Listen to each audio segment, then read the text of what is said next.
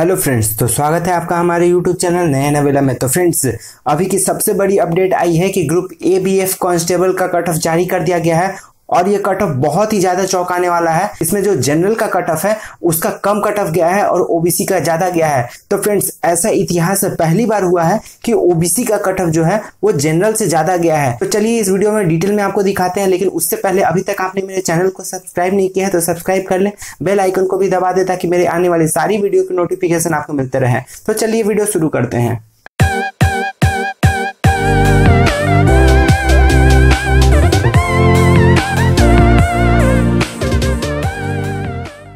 तो फ्रेंड्स, अब हम आ गए हैं आरपीएफ कांस्टेबल के ऑफिशियल वेबसाइट पे। यहाँ आप देख सकते हैं कि cut off marks for constable. यहाँ पे कांस्टेबल का कट ऑफ़ मार्क्स रिलीज़ कर दिया गया है। चलिए इसको क्लिक करके देखते हैं।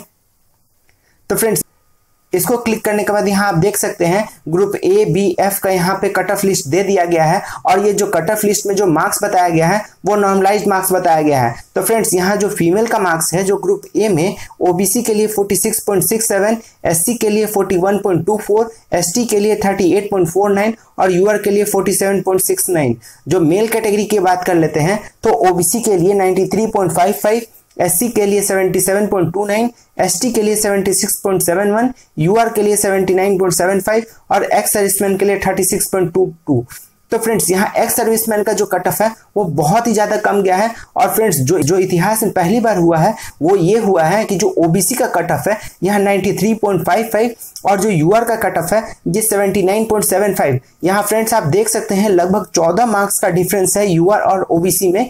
ओबीसी का ही ज़्यादा चला गया है और यूआर का कम हो गया है। तो फ्रेंड्स यहाँ आप देख सकते हैं कि मार्क्स कितना ऊपर नीचे गया है। तो फ्रेंड्स ये बहुत ही ज़्यादा चौंकाने वाली रिज़ल्ट है। तो फ्रेंड्स, इस वीडियो के लास्ट में हम आपको बताएँगे कि कट ऑफ़ कैसे तो फ्रेंड्स, इस वीडियो के लास्ट में हम आपको बताएँगे कि कैसे मेरिट लिस्ट बनता है और कैसे बच्चों को सेलेक्ट किया जाता है। तो फ्रेंड्स, आगे चलते हैं और ग्रुप बी का कट ऑफ़ देख लेते हैं।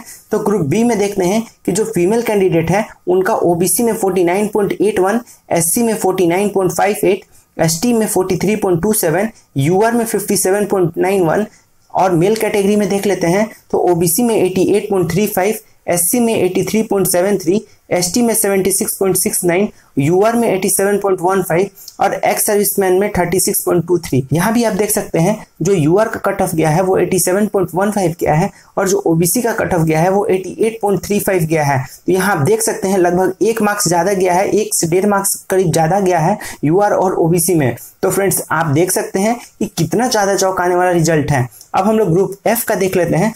तो जो ग्रुप एफ़ में थे वो सिर्फ़ मेल कैंडिडेट थे यहाँ फीमेल कैंडिडेट अलाउ नहीं थे। ओबीसी में यहाँ 84.19, एससी में 70.51, एसटी में 68.22 और यूआर में 86.89 और एक्स सर्विसमैन में 36.14 तो फ्रेंड्स एफ़ कैटेगरी में सही गया है लेकिन ए और बी का जो कैटेगरी है वो बहुत ही चौंकाने वाला है। तो फ्रेंड्स अब हम आपको बताते हैं कि कैसे ओबीसी का कट ऑफ़ ज़्यादा चला गया है और कैसे यूआर का कट ऑफ़ कम चला गया है। तो फ्रेंड्स चलिए हम आपको दिखाते हैं नोटिफिकेशन में कि क्या वैकेंसी टेबल था, उस पर आपको डिटेल में समझाता हूँ।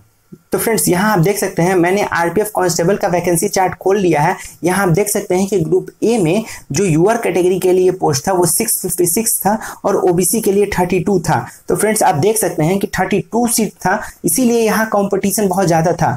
अब क्या होता है सिलेक्शन में जो होता है, वो जो भी मार्क्स सबसे ज़्यादा लाते हैं और वो अपना कैटेगरी चुने रहते हैं तो सबसे पहले वो अपना कैटेगरी का सीट बुक कर लेते हैं।